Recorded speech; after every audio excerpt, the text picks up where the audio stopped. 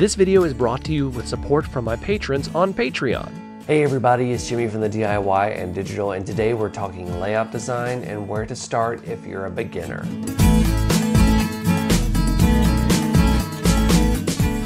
Welcome back everybody. First of all, if you haven't already, go ahead and hit that subscribe button so you don't miss any updates like this video. So today we're talking layout design, specifically track plans. I wanna to talk to some of the beginners out there that are looking to build their first railroad or get beyond certain points.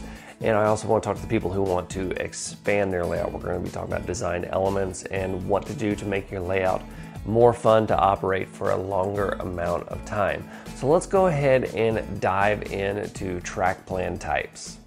The design that is the foundation for the vast majority of all layout design is the original loop of track. We pretty much all start here. Most starter sets come with either a loop or a circle of track.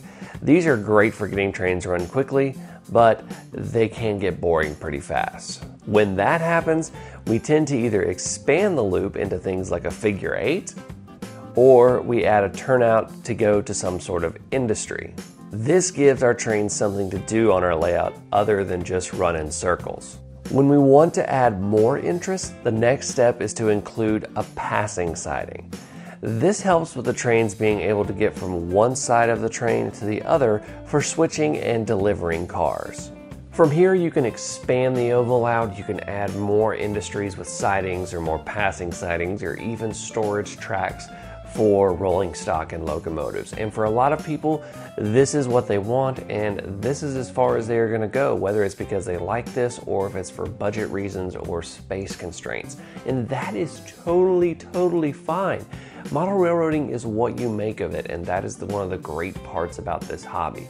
But for those people who want to run operations and stuff, what does it take to run your railroad more like a real world railroad? Let's take a look at that. Real world railroads are a gigantic delivery network that takes goods and people from one place to another. This means that the first thing you need to do to make your railroad more realistic is give trains a place to come from and go to.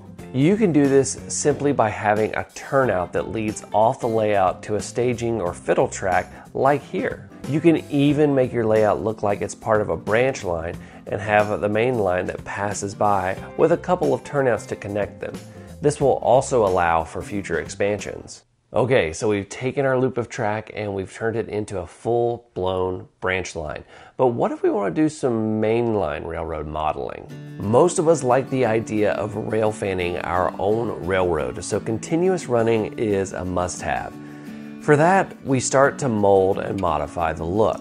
The first plan we get to is the L-shaped layout. This really begins to spread the layout across a larger area and gives more room for industries and sidings. Another very popular design is the dog bone. The dog bone can give the illusion of a double track mainline with loops at the end. This is a very customizable design because it is a double track anchored by two loops. So the shapes you make are only limited by space, some people even fold them on top of each other and have elevation changes. Another variation is called the loop to loop, which is where you have a single line of track connecting two separate reversing loops. These require special wiring to prevent short circuits. I have done this with an Arduino in a previous video and I will link that right up here as well as in the description below. There are tons of ways to expand the simple loop to your liking. But what if you want to run your railroad like a real world railroad and you want to have a realistic track plan like those real world railroads? It's time to start looking at non-continuous loop track plans. There are two basic types of non-continuous track plans, the point-to-point -point and the loop-to-point. The point-to-point -point is the most prototypical track plan. This is how the real world railroads design their railroad network. They go from one place to another. In the steam era, you would have turntables at each end to turn the locomotive around. But since modern diesels can run both directions equally well, a passing siding is all that is needed to reverse a train's direction. The loop to point is like the point to point, except it has a reversing loop at one end. This type of plan is far less common than the point to point. You typically will find loop to points with a loop located in the hidden staging yards to reverse a train's direction. One big element of realistic model railroad operation is off track staging. Now, whether that is just a simple removable track cassette that you can plug in to the end of your layout, or if it's a massive hidden staging yard complete in a separate room. Just know that staging yards and fiddle tracks make running your railroad more realistically a lot easier. This video is brought to you with support from my patrons on Patreon. You can join my Patreon community for exclusive content. You can join for a monthly contribution of $1, $2, and the all new $5 engineer level, which includes an exclusive digital model of the month that you can download and print yourself. A link to my Patreon page is in the description below. So let's take everything that we've learned and design a track plan based off of it. In this plan, we have taken a dog bone and folded it. We've added places for trains to come and go to staging areas, but still have a continuous running provision. There is a passing siding for main line train meets. And we've taken our original loop and made it into an industrial area along the main line. We've also added several other mainline industries. On the left, we have a point to point branch line that runs to a large industry. Remember that branch lines to single industries are only built if the industry is large, something like a coal fired power plant, or if there are several smaller industries that are located on that route. So we've taken our model railroad and we've expanded it from a simple loop of track into something that can take up a room or even be the beginnings of a basement empire. Now, I have three things that you need to remember when you are designing your model railroad. The first is don't let your eyes get bigger than what you actually want. We've all seen those basement empires that are absolutely massive, but the thing we have to remember about those is that the people that build them have taken years, if not decades to build them out to the size that they currently are. We're only seeing the finished product. A lot of times they just start small or it takes a while if they're starting big. And typically that's not that person's first layout. It's more along the lines of third, fourth, fifth, or sixth layout. So just remember that to start small and expand.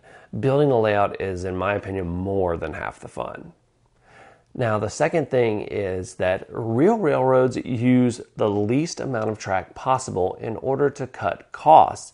So don't go crazy with your track plan and putting turnouts here, here, here, having double, triple, quadruple, quintuple um, tracks going everywhere. If you want something that's a little bit more realistic and you want to save some money, use the least amount of track possible and use some thinking to figure out what I can do to be able to use just a double track or a single passing siding rather than having turnouts and sidings going everywhere.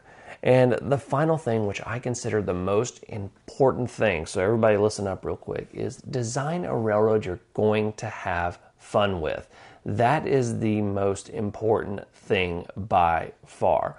Personally, for me, I love doing operations, but I also love rail fanning with a continuous running railroad. So I will more than likely never have a point to point layout. That's just something that it would be somewhat fun for me, but I would want to have some continuous running. So, and that's different for everybody. So design a layout that you are going to have fun with. That is the most important thing. So that is it for today, guys. I want to thank you guys so much for watching, and then I also want to thank my patrons. They're listed right here. And if you want to become a patron, there's a link in the description below. And if you haven't already, go ahead and hit that subscribe button, hit that like button, and hit that bell icon so you don't miss any updates like this video. Until next time, I'm Jimmy from the DIY and Digital. Stay safe, be kind, and happy railroading and we're going to talk about that track, blah, blah, blah, blah, blah. even storage sidings for passing sidings and more places to even store rolling stock and locomotive. Nah, that's bad.